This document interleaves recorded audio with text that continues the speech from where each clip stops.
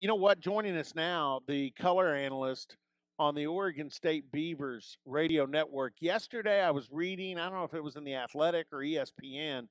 You know, everybody's having their conference spring meetings. In fact, I talked to Coach Gundy for a little bit yesterday, Mike Gundy, about the spring meetings, and he was getting in a workout back on uh, campus. But, um, you know, uh, the Pac 12 talked about uh, having a conference only 11 game schedule that's just an option. Clay Helton, I think the coach at USC was the uh, coach that was being quoted on it and was being asked about it. Um, but Oklahoma State is scheduled to open with Oregon State on Thursday, September 3rd. I'm kind of looking forward to that and enjoyed the trip to Corvallis. And like I said, Jim Wilson, the color voice on the Oregon State Network, joins us now. Jim, first of all, hope everything's well with you and the Oregon State family, your broadcast team, everybody. Well, it's been some very, very trying times, but we're all hanging in there and just uh, like you, crossing our fingers and hoping we can get back to playing some football. Yeah, Chad Weiberg, uh, uh, the deputy athletic director at Oklahoma State, that that uh, really is involved heavily in football scheduling, was on with us. Oh, about I think it was a week ago last Friday, and uh, we were talking about things, and I said, well you know, Oregon State's a long way away, and and we've heard a lot of things from the state of Oregon from the governor up there. And I said, what what what do you know about Oregon State and maybe their willingness to come down and play that game with all you know all things considered with the COVID nineteen and. Chad said, "You know, I, I got in contact with them a week or two ago just to see what their, you know, uh, temperature was on everything, and the feeling I got from the folks at Oregon State is if we're playing football, they plan on being in Stillwater to uh, you know to abide by the the contract. Again, we just don't know, but he said they Oregon State's enthusiastic about playing that game. There's no question that uh, the universities, and I think this is probably true of the universities across the board, but both Oregon State and Oregon have come out publicly and said we will have students in the fall and we're going to be up and running. But they have to. This is the financial situation that's very critical for. I'm not talking about just Oregon and Oregon State. A lot of universities need students in the fall, and that would mean football as well. But the governor is singing a different tune, and I think that's going to be the where the rubber hits the road. Is you have governors that are very restrictive. The governor of Oregon came out and said that there'll be no large gatherings through September, which means you know Oregon State could actually go on the road, but I don't know how they gather a team and, and play football if there's no gatherings. And of course, the Ducks uh, down the road are supposed to host Ohio State in the first week of September. So I think it's going to be where the governors uh, weigh in is going to be very interesting in all this.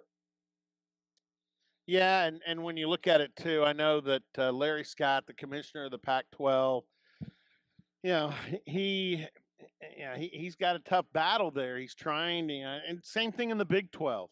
Everybody's battling with that behemoth at the SEC. And I got news for everybody. They're going to play football in the SEC whether anybody else does or not, because I don't think down there they care. I don't think they care about the threat of the COVID 19. I think in the SEC, um, you know, the word is they, they worship twice a week once on Saturday at the school of their choice and once on Sunday at the church of their choice. And I don't think they're going to give up that football day of worship for COVID 19.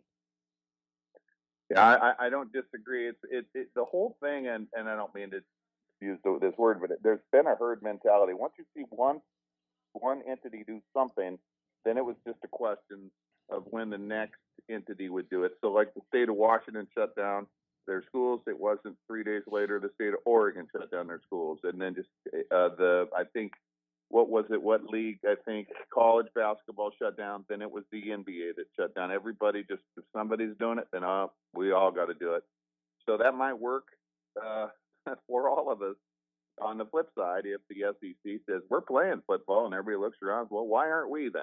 So I, I, I think uh, I believe there's going to be football in the fall, but I, I do I believe that there is going to be an adjusted schedule of sorts. Yeah, I kind I, I kind of agree with you, which means this game between you know the the the two orange and blacks, Oklahoma State and, and Oregon State.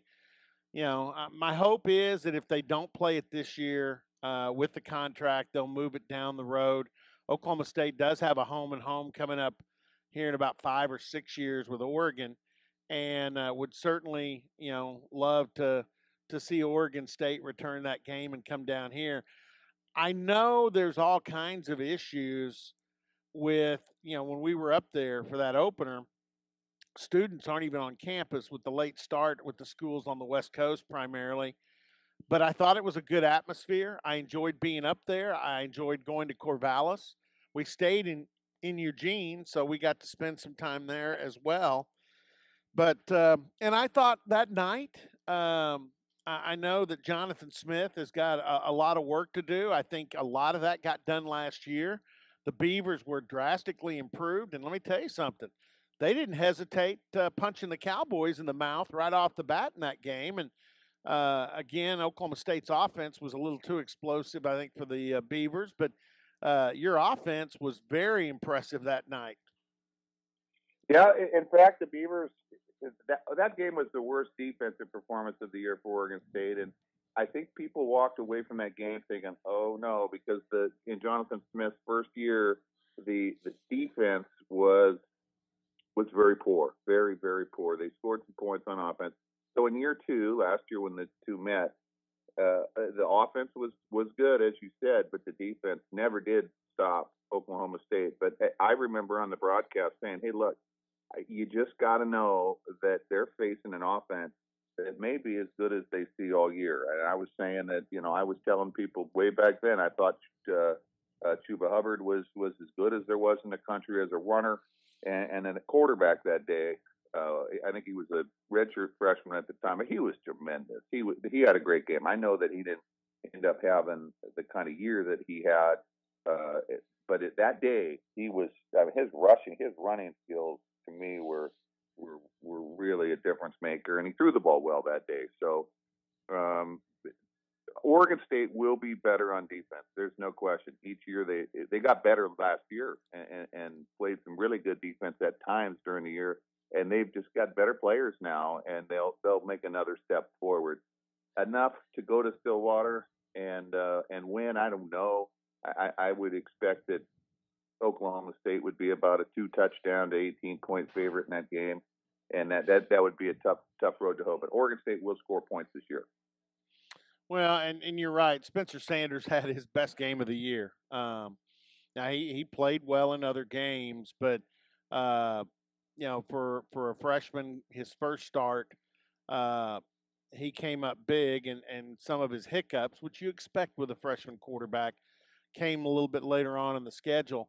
Now you mentioned Chuba, and I, will I'll say this, and this might make you and some of the Oregon State fans uh, feel a little bit better about last year, but maybe not feel as good about this year since Chuba decided to come back.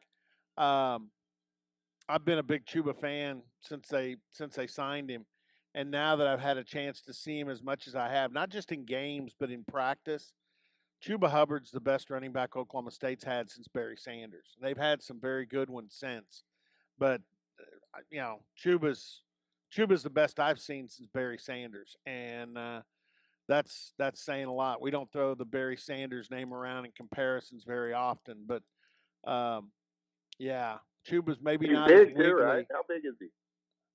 Chuba's uh, bigger. I mean, Chuba is now what he did in the off season is he dropped about three or four pounds, and uh, and then he spent the first part of the COVID nineteen. It hit when spring break was here at OSU. He and uh, one of the linebackers went up to Baltimore and they spent almost the whole time with Justice Hill, a former back from OSU that's with the Ravens, and they were able to work out with with Justice in in Baltimore. So um, Chuba's actually tried to thin up just a little to maybe kick another a, a little bit faster, you know, speed.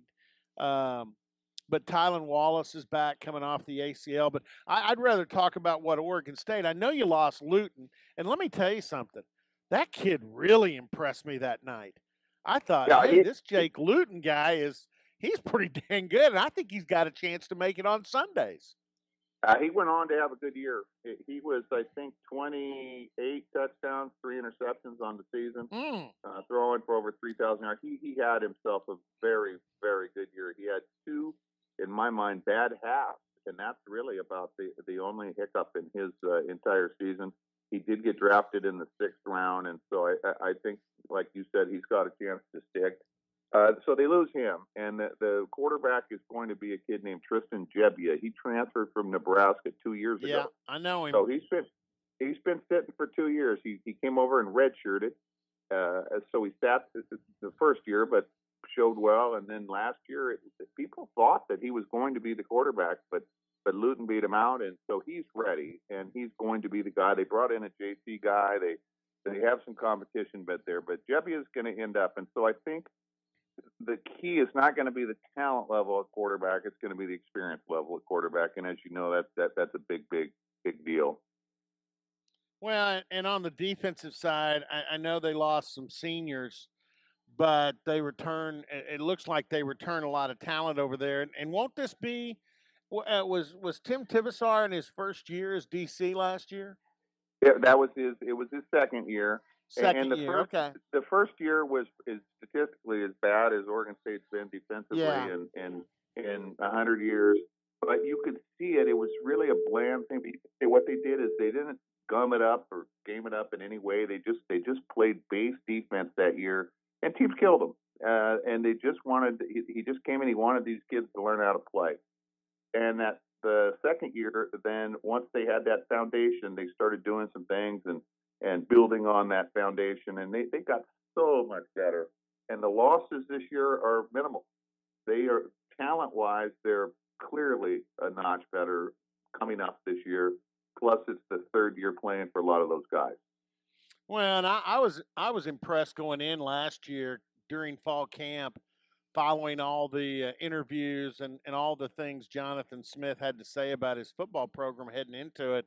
Uh, it reminds me. Uh, I, I think I don't think we're going to see Coach Smith, uh, you know, grow a mullet, and he might not be as as outspoken as as the head coach here, but it reminds me a little bit of that being a former quarterback uh, his alma mater. Uh, you know, you can tell he cares a ton about building Oregon State and that he's not looking somewhere else for another job. This is the job he wants. It's his alma mater. So it reminds me a little bit of what uh, of the situation with Oklahoma State with Mike Gundy, who's now heading into his uh, 15th year. I think you hit the nail on the head with that. One one of the the big, you know, Jonathan Smith is a real down to earth guy. He's not flamboyant like like Gundy, and he's like you said, he's not going to grow a, a, a mullet. But the eh, eh, the rest of it is is spot on because Jonathan Smith was a Beaver. He was the quarterback. This is the job he wants. And I will say this: that one of the strengths of the Beaver football team is the culture. He came in year one. It was all about getting guys that wanted to play, that played hard, recruiting his own type of guys that want to be Beavers, and it showed somehow. It, it, the, the positive culture actually showed on the field in year one. It was really obvious in year two. They had a, a hiccup in Hawaii that could have tore a couple of, you know, a, a lot of teams that I've seen up. This team just just moved right past it with with internal leadership and and uh, uh, I think that's been Jonathan Smith's best quality right now, heading into year three, is the job he's done flipping the culture at Oregon State and now having guys that all want to be there and play hard. Jim Wilson with us, uh, color voice uh, analyst on the uh, Oregon State Beavers radio network. We had a chance to meet those guys uh, last year in Corvallis and enjoyed it. Enjoyed the enjoyed the trip up there. All right, let's get back. We're going to revert back and finish up again with the schedule. Uh, I'm assuming you saw some of the same stuff I did, and you just mentioned you think it may be some sort of modified or abbreviated schedule. Down here, we're hearing a lot about maybe an October start and playing, you know, primarily conference games only. Big 12's at a little bit of a disadvantage because numbers wise, it's not the Big 12, it's 10, which means you'd have nine conference games. But the latest thing I've heard is maybe those games and one non conference game. And the easy one for Oklahoma State would be Tulsa that they have scheduled that's just up the road a little bit. But what did you think of what you were hearing yesterday or earlier from the Pac-12, and and um, and have you heard anything from Coach Smith on on maybe what his feelings are about how to attack this season? You're, you're never going to hear anything breaking from Jonathan Smith. he plays it about as close to the vest as, as he can. He, he, runs the company line. Um, the things that I'm I'm hearing all the things that you just mentioned. Some of the uh, league game only or late start and uh, uh, playing games without fans. Those those those are the kind of things that are that are being thrown around. Um, I've gotten the point probably where I pay less attention to the day to day on all of that. This stuff's going to play out, and it doesn't matter how much how nervous I get about having a football season. It's going to happen when it happens. So I, am going to just confess that I, I've not really, I, I can't stay with it the day to day, the rumors and the noise about what what may happen. So that part of it, I, I've tried to stay away from. Yeah, Jim, we went through the Big 12 with a lot of our uh, a lot of my compadres that are at the different radio networks, and uh, one of the things we asked about is, you know, just what's it like in their community, and and what's it like right now, and we're getting you several weeks after we went around the Big 12. You know, I had the chance to to be up there and and for the first time see Eugene and and Corvallis What's it like in your community? I mean, are, are people wearing masks? Is is uh, is it uh, still shelter in place? What's what's the atmosphere and what are the policies going on right now in the Corvallis area? Now the policies are pretty pretty much uh, uh, shelter in place, but there has been some relaxation in the last week or so of some some different aspects of of business. Uh, let, let me say this: um, Oregon is one of the states with the fewest uh, casualties and infection rate. All of those, it's very very low on the on the chart. I think 40th or something in the, of the states. Um, you go to Corvallis, it's a small college community, and you drive around, you'd think that everything was normal. Quite frankly, there's people bustling around and all. There, there's not, but you're not going. If you went inside a restaurant, you wouldn't find much. But it really you just drive around, you see healthy people moving around. But the other day I went downtown Portland uh, for appointment, and I drive. It was a ghost town. I've never seen. Uh, there was more people in seventy thousand population Corvallis than I saw in all of downtown Portland, which is you know uh, five hundred thousand. So it, it's it's really it was really weird to me to see, and I think that's maybe the case is that the bigger cities are uh, have turned a little bit uh, ghost townish, and boy, it was really it was just odd to see, and it was sad. Well, Jim, I appreciate you coming on, and hope everything stays well. Since it sounds like Oregon's in great shape as far as uh, being on the on the lighter side of the the COVID nineteen um, you know uh, people coming down with it and the stats on it. Uh, and I will say this too. Uh, I don't know if we're going to get to see a, a, rematch of the two OSU's, um, but I hope the athletic directors get their heads together. And, and if it's not this year, uh, we certainly want to pay you guys back for the hospitality up there. I enjoyed it in Corvallis, and and uh, you guys have a beautiful campus, beautiful area up there, and uh, would love to love for you guys to come down here and see Stillwater and Oklahoma State. So whatever ends up happening, best to you. If we see you, great. Uh, it'll be on a Thursday night. It'll be one of the first college football games of the season, so I think people will be pretty cranked up. But if we don't see you, hopefully we'll see you down the road. Yeah, all Beaver Nation wants to get out to Boone Pickens Stadium and, and see what it's all about and and uh, play a football team that we know is going to be probably a top 25 team going in. Well, Jim, appreciate it and uh, best to you. Thank you so much. All right, uh, Jim Wilson from the Oregon State Beavers Network. And